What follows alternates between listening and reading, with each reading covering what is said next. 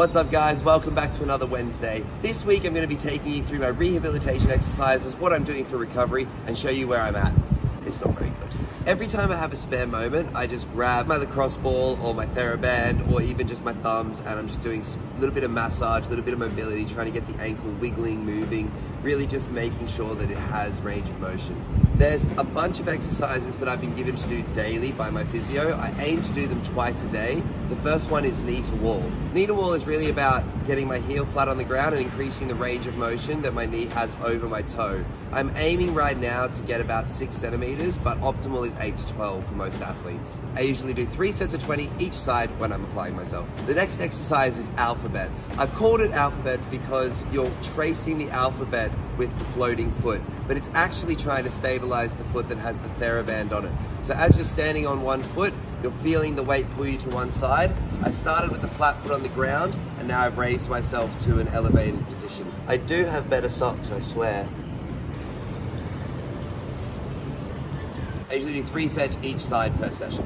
The next exercise is calf raises, which is a pretty mundane exercise. I will lean forwards into an athletic runner position, raising one leg in front to activate the core. If I'm too sore from training or anything, I will tend to do them two foot until I can get back to one foot. But it's still, as you can see, quite weak in that range of motion. Ah! Target hops are a very enjoyable exercise comparatively to the other ones, but they're also the most strenuous. Focusing on hopping in one spot consistently, 10 times each foot to the other side, trying to alternate 10 times on each side, making up 100 hops. As you can see today, my ankle isn't giving me love and they're a little bit more difficult to do on the right side, but normally I've been able to get through two tracks or about eight minutes. Why?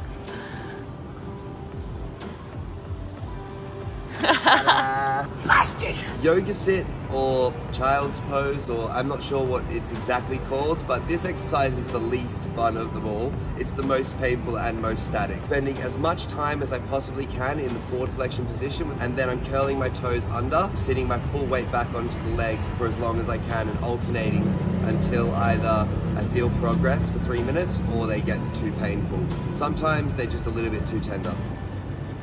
Once I've done those sets and I'm doing a bit more of an active workout, I'll start with some lunges and then I'll work my way up to lunges with a calf raised position, holding nice and strong. Working with my own body weight, I will do an inchworm, which is crawling back and forward, and that really helps me mobilize my shoulders and my wrists and making sure that the whole body's just moving and feeling comfortable holding my weight. It's also a great hamstring stretch and then I will do Bulgarian split squats to really get the stability going in the hip flexor and as I'm going down on each leg making sure that the ankle's working properly, stabilizing those, those positions. Other than that, I also integrate a bunch of stable exercises, super regular stuff, just to keep my body moving and strong where it needs to be, especially because I can't jump, I have the extra energy to burn somewhere.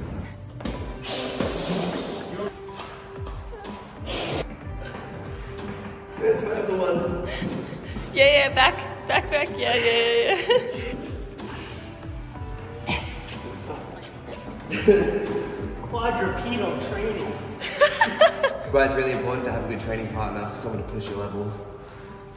I've also been working on handstands. I've had pretty bad wrist mobility since the China fail in 2017. Yeah, that long getting back. Now I can hold my weight comfortably in the handstand position and I'm progressing to walking on my hands again so that way I can use one hand. I do get kind of tight in my shoulders and my wrists when I do a heavy session of them, but I'm still have the dream of one day doing it from straddle, sitting all the way up, which is not happening right now.